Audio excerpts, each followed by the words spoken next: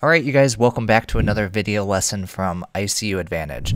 Remember to subscribe to the channel if you aren't already if you want to continue getting more great critical care content such as this video. Now in this lesson we're going to be taking a look at one of our miscellaneous antiarrhythmic medications, one that's widely known for its use in our bradycardia ACLS algorithm, and that medication is atropine.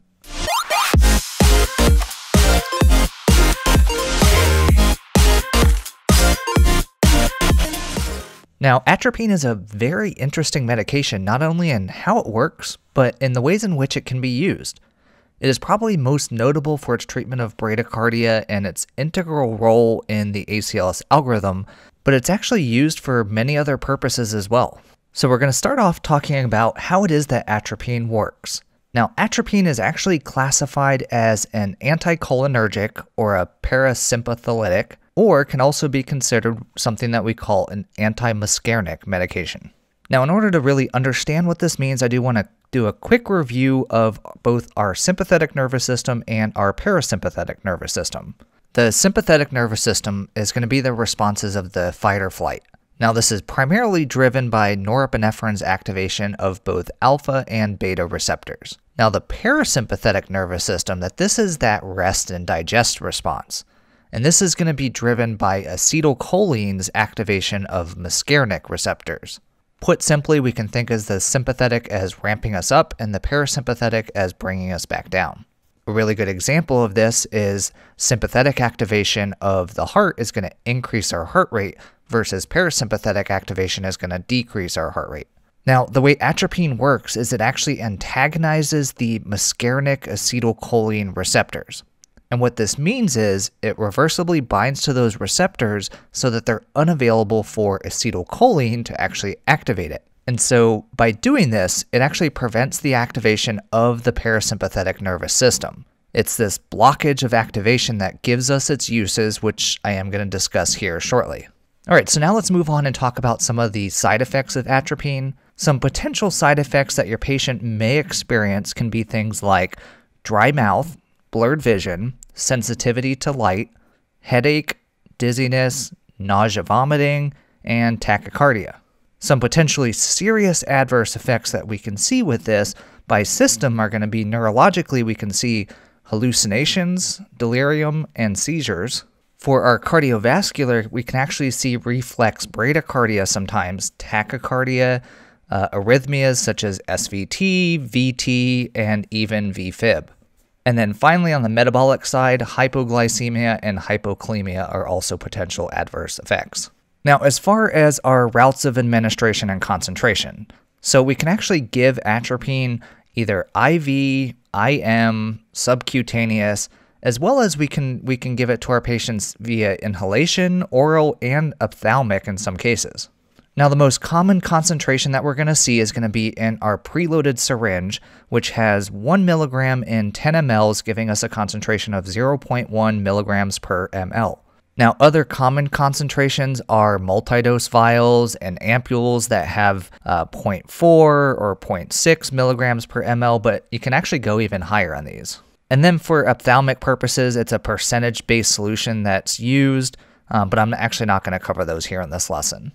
So now let's actually talk about the different uses that we have for atropine within critical care. And there's really three primary uses for it. The first one is going to be our symptomatic bradycardia. And for this, atropine is going to be our first line choice for our ACLS algorithm here. The way atropine works here is by blocking the parasympathetic activation of the vagus nerve and its effects on the SA and AV nodes. By decreasing this activation, this is going to lead to more rapid firing of both of the nodes, as well as decreased conduction time at that AV junction, leading to increased heart rate. Now, it's important to know though that patients with third degree heart blocks are not going to benefit as there is no propagation of that signal from the AV node to the ventricles. As well as patients who have second degree type 2, think Mobitz 2 here, the effectiveness of atropine is going to be significantly reduced. Also, patients who have received heart transplants will not benefit due to the denervation of the vagus nerve in that transplant. Now, here for symptomatic bradycardia, the dose is going to be 1 milligram IV push, and we can repeat this every 3 to 5 minutes for a maximum dose of 3 milligrams.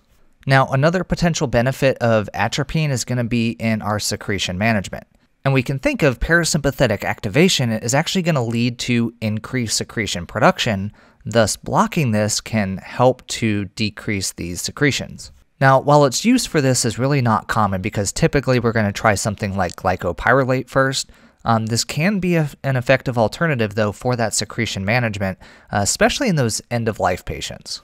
And then typically here, the dose that we're looking at using is 0.5 to 1 milligram, uh, and we can repeat this every one to two hours for those patients. You can also potentially use the ophthalmic solution and administer that orally for this purpose as well.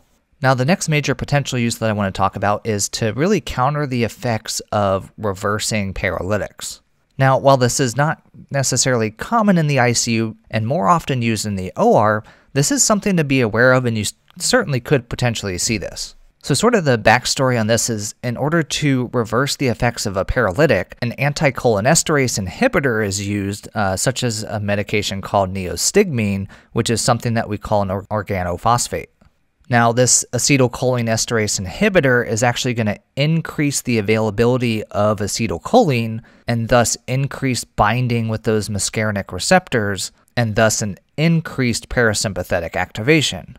Obviously, this can lead to extremely low heart rates and significant secretion production.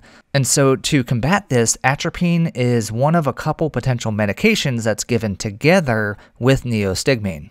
Now, our typical dose when we're using it here is 1.2 milligrams IV push. So, those are pretty much the three big potential uses in critical care. There is one last use that you could potentially see in some situations. It's definitely nothing I've ever seen, um, but depending where you work, that this might be something that you come across, and that's when we're dealing with organophosphate poisoning. I do also think this is a very interesting use of this, so I did want to mention it here.